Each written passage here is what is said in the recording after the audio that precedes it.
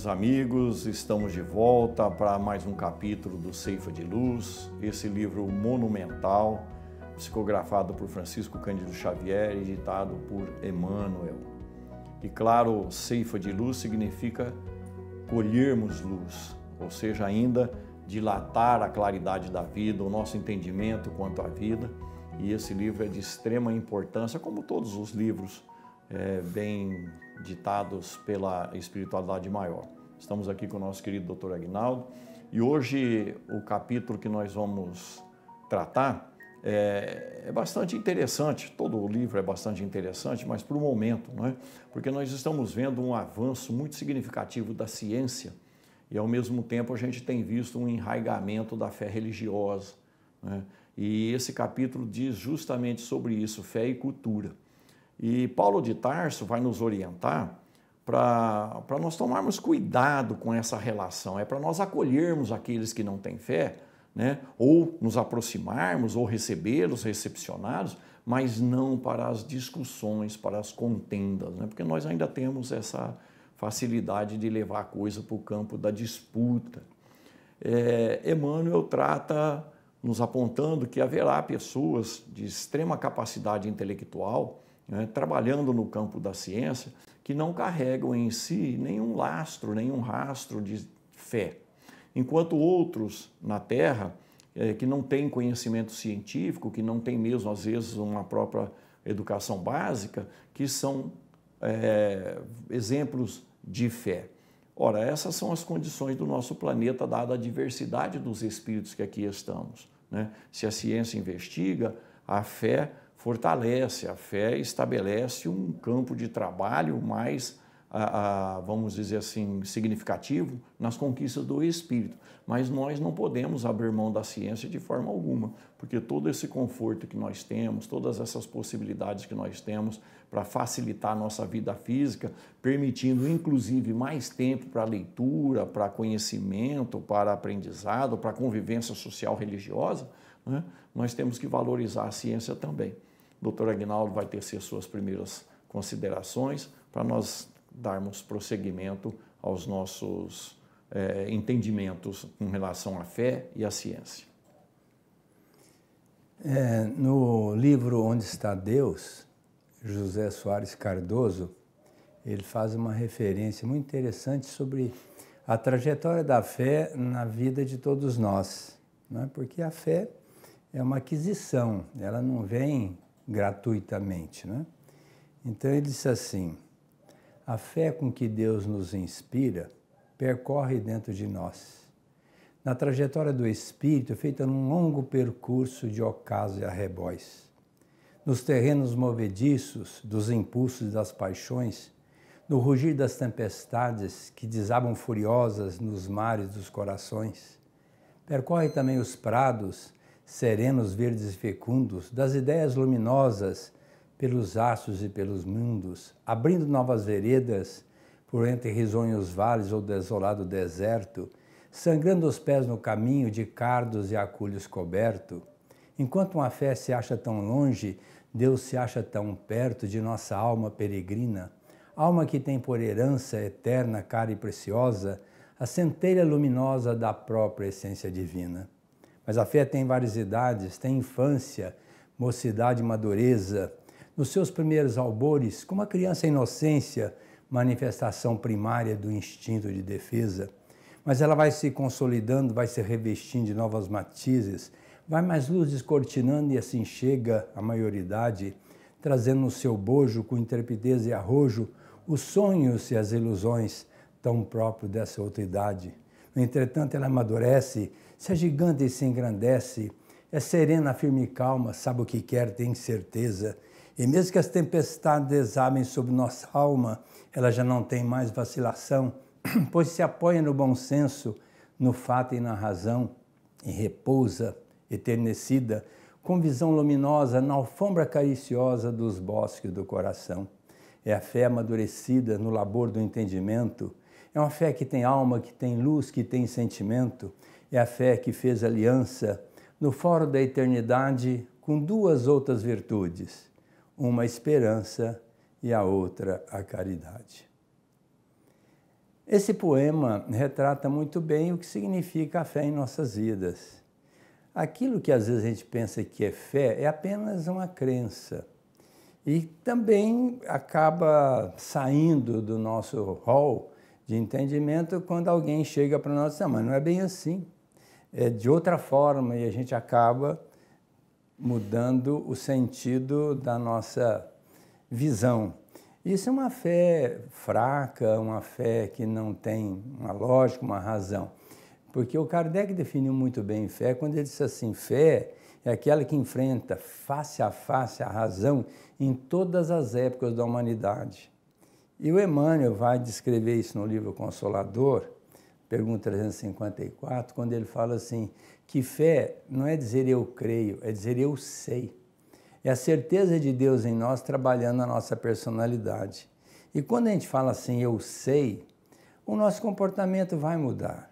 Porque enquanto a gente apenas acreditar, a gente fica mudando de ideia, mudando de propósito, de comportamento. Mas quando a gente diz eu sei e direciona a vida pelo saber, aí fica mais fácil para a gente trilhar no caminho certo.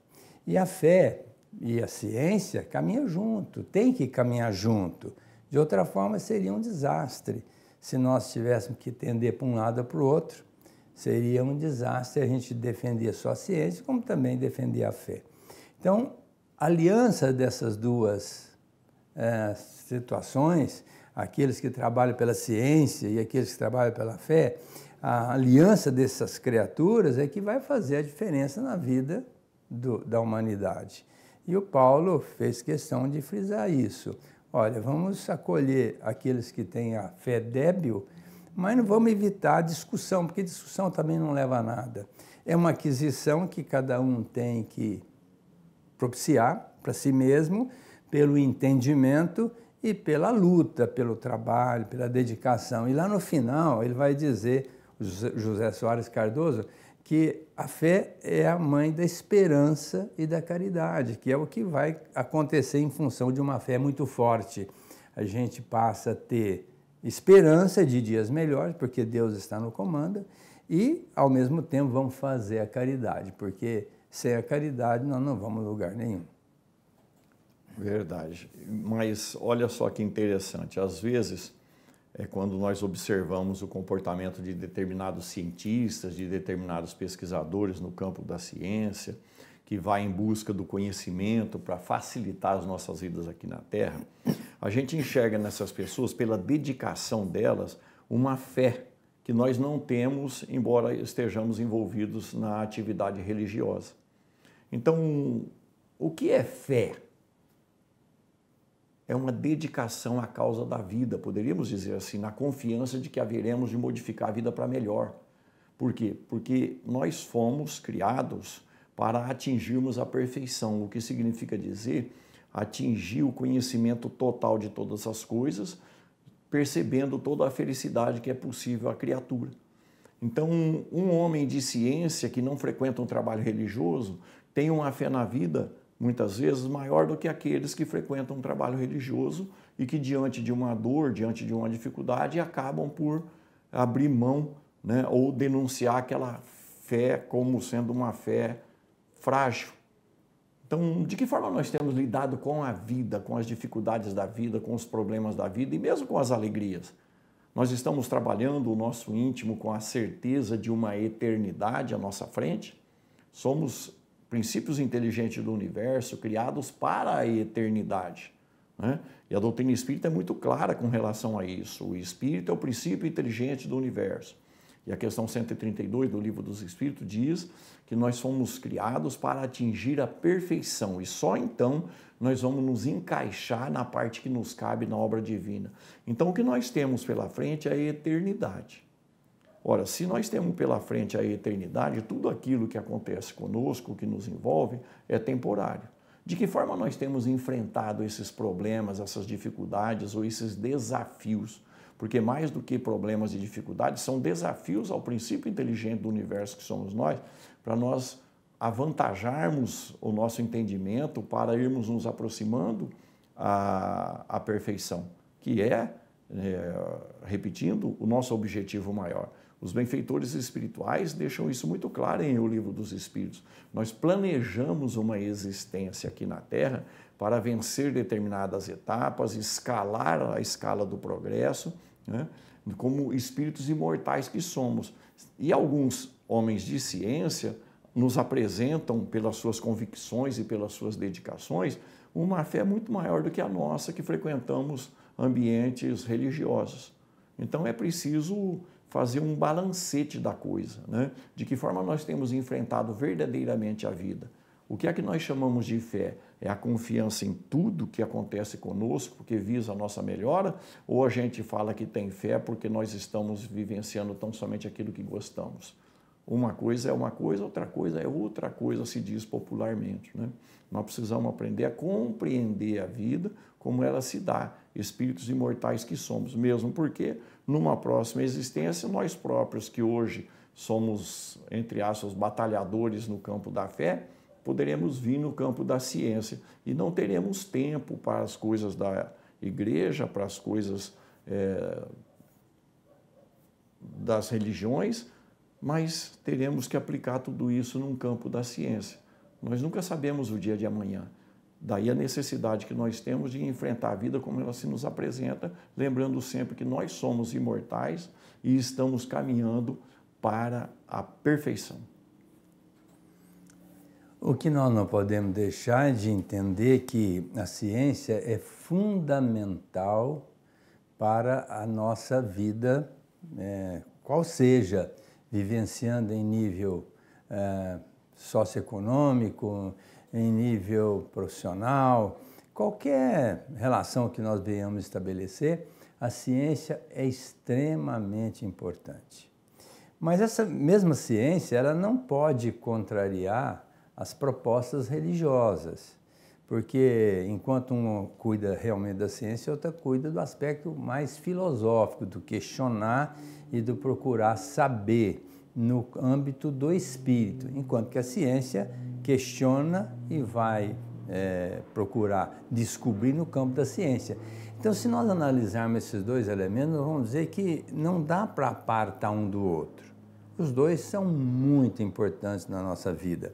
Agora, quando Jesus diz: "Conhecereis a verdade, ela vos fará livres", ela, Jesus quis dizer exatamente que à medida em que a gente vai evoluindo espiritualmente, nós vamos ficando de posse das verdades relativas, porque essa verdade vem para nós de uma forma homeopática. Nós não podemos saber das coisas de Deus, não temos ainda estrutura para isso. Só quando nós chegarmos em nível da pureza espiritual é que nós vamos conhecer a intimidade do nosso Criador mas para isso está muito distante. Enquanto isso não acontece, vamos procurar viver essas verdades que nos chegam. A doutrina espírita, por exemplo, veio com essa propriedade de nos esclarecer a respeito dos parâmetros que regem a nossa vida no plano físico e no plano espiritual. Daí a importância da gente se libertar pelo conhecimento, não nos permitindo atitudes infelizes, pelo contrário, fazendo aquilo que a doutrina a verdade nos traz, que é uma informação trazida pelos benfeitores em nome de Jesus. Então, é muito importante que a gente também nós nos enveredemos por esse caminho da religião, porque ali nós vamos colher subsídios que vão nos trazer informações tão importantes para a gente não se permitir atitudes infelizes, porque até hoje, na ignorância, nós nos permitimos a tantas atitudes indesejáveis. E hoje nós estamos pagando um tributo caro por isso, porque a lei ela é inamovível. A semeadura é livre e a colheita é certa. A cada um será dado de acordo com as obras. E o Tiago, entendendo isso, ele disse assim: se tu tens fé, eu tenho obras. Mostre-me a tua fé sem obras, com as minhas obras mostrar-te-ei a minha fé. Então, quando Navarro colocou que o cientista tem às vezes mais fé do que o religioso, ele tem razão, porque ele pelo menos está trabalhando, ele está acreditando naquilo que ele está defendendo, que é a ciência. É um lado do crescimento espiritual. Quem sabe lá na frente ele volta como uma pessoa eminentemente religiosa e vai começar a se interessar pelo lado do espírito, que é o que fica, que é o que é imortal e que vai nutrir desses dois elementos, que é a fé e a ciência. Então, quando a gente começa a questionar sobre nossa vida, quem nós somos, de onde nós viemos, para onde nós iremos, é que a gente começa a fazer a diferença. Isso eu chamo de fé. É a pessoa já saber quem foi, saber quem é, em tese, porque no fundo a gente não sabe quem nós somos em profundidade, mas pelo menos sabemos que somos um espírito em evolução, conforme o Navarro colocou na pergunta 132. Nós viemos para evoluir, estamos aqui reencarnados e vamos voltar para o mundo espiritual. O que que esse mundo espiritual retrata para nós? Se nós estivermos conscientes do que ele significa, nós vamos nos preparar melhor. Isto é fé.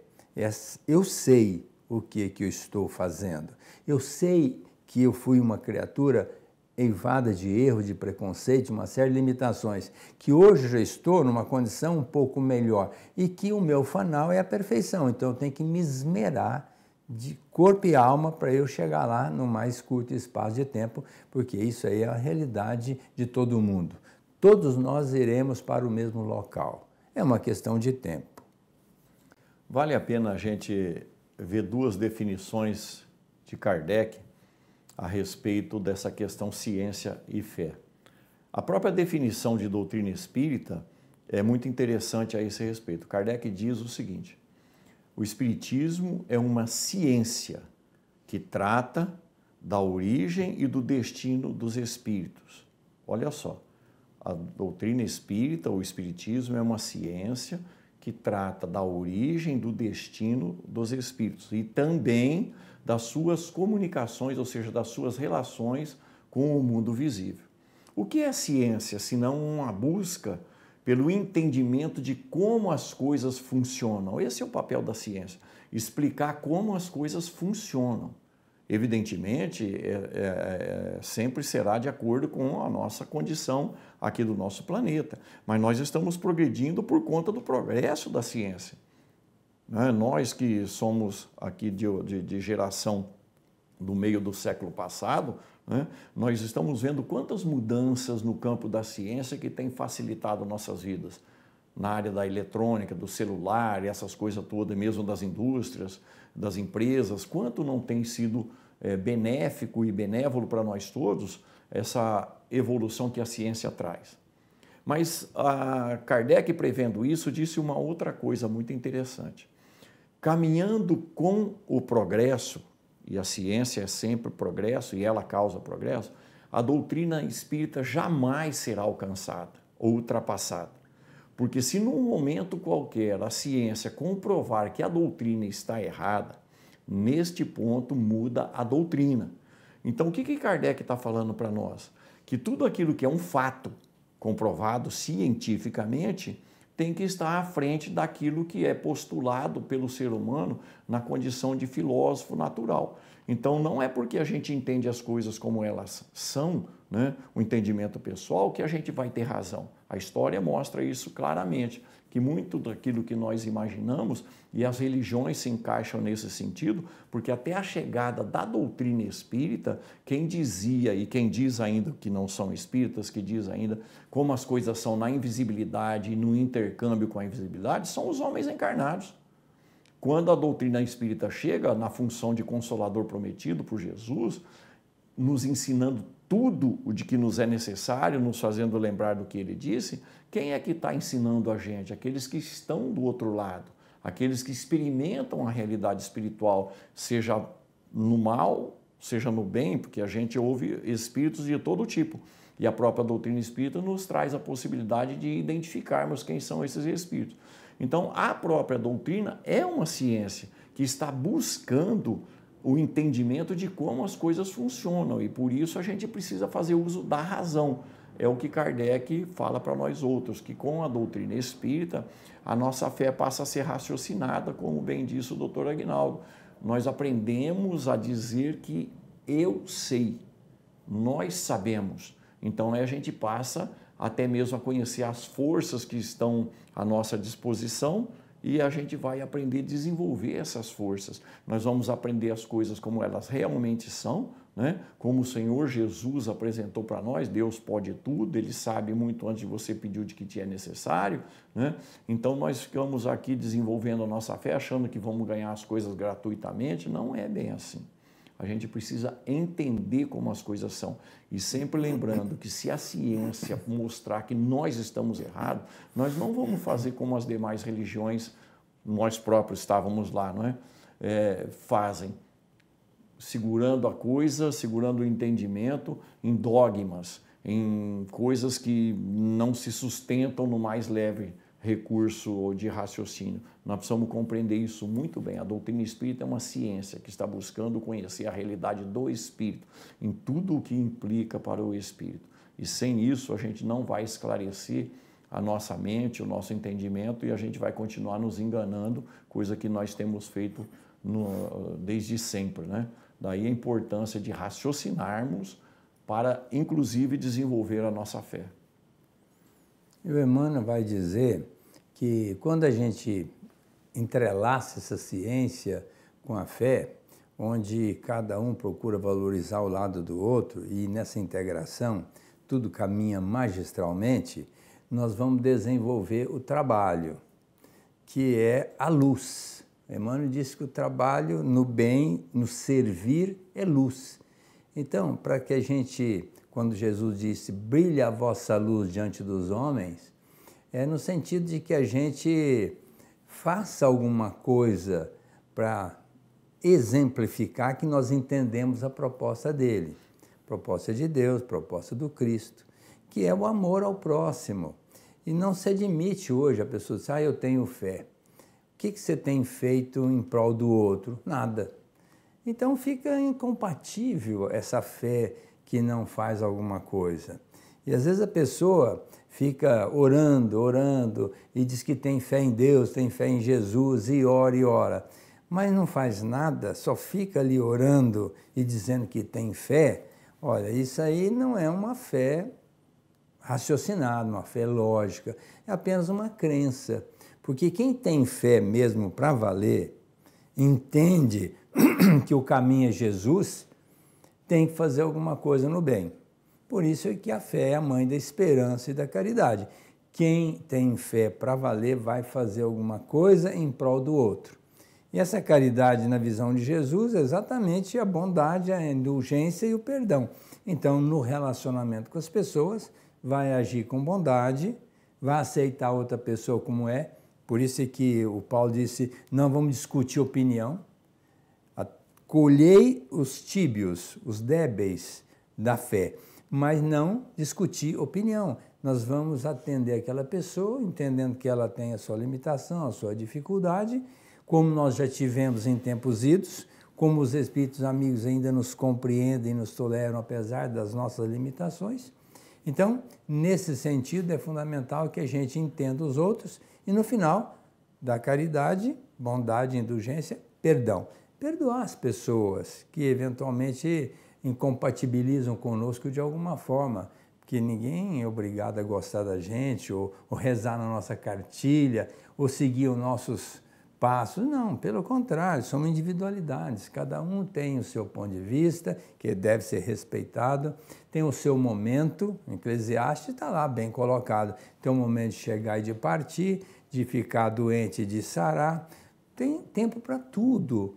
Não é? Então, a pessoa também tem o tempo da ignorância e tem o tempo da sabedoria. Não adianta a gente querer que a pessoa tenha uma fé inconcursa, firme, quando ela ainda está muito é, primitiva nessa trajetória do espírito. E um detalhe interessante: às vezes a pessoa não tem nenhuma intelectualidade, é semi-analfabeta e tem uma fé poderosíssima. E a gente fica perguntando, meu Deus, mas como é que ela tem essa fé? Quando o Emmanuel diz que ter fé é dizer eu sei, mas ela é ignorante, ela é analfabeta. Acontece que essa criatura já viveu outras experiências no corpo, já adquiriu essa sabedoria, esse saber eu sei, e volta para cá para desenvolver mais ainda o seu potencial e já chega aqui com uma fé inabalável, a ponto de não mudar a sua conduta, principalmente quando ela está na vertente do bem. E por último, meus amigos, vale a pena a gente se lembrar daquilo que o Senhor Jesus disse a respeito dos religiosos da época, alguns deles, evidentemente.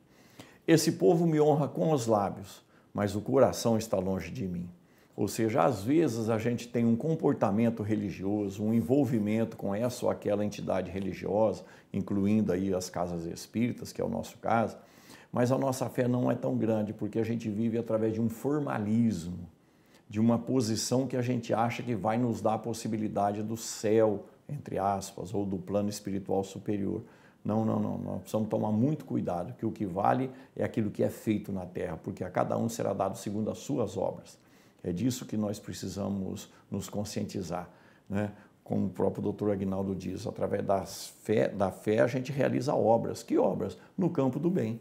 Ora, o campo do bem é sempre propiciar às pessoas uma condição de vida melhor, porque é o que nós desejamos para nós outros. Pensemos nisso.